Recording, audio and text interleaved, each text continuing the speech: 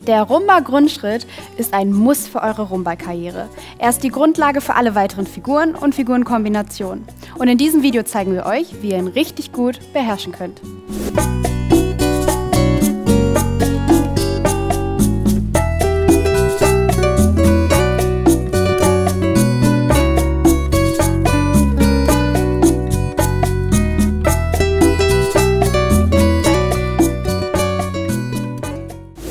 Der Rumba-Grundschritt besteht aus einem langen Schritt, in dem Fall ein Seitwärtsschritt, und aus zwei schnellen Schritten, die Wiege. Wiege. Dann haben wir wieder einen langen Schritt und auch hier wieder die schnellen Wiege.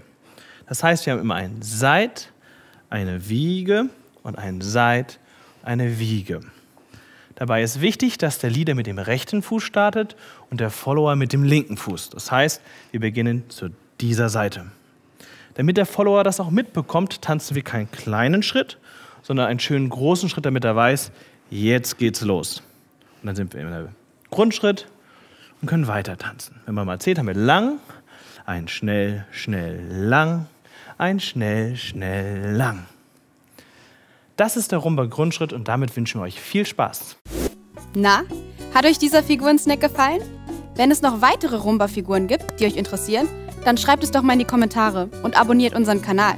So bekommt ihr immer mit, wenn es von uns ein neues Tanzvideo gibt. Vielleicht haben wir eure Wunschfigur sogar schon abgedreht. Schaut doch mal auf unserer Seite dancebuddy.de vorbei. Dort findet ihr unzählige Figurenvideos für alle wichtigen Tänze.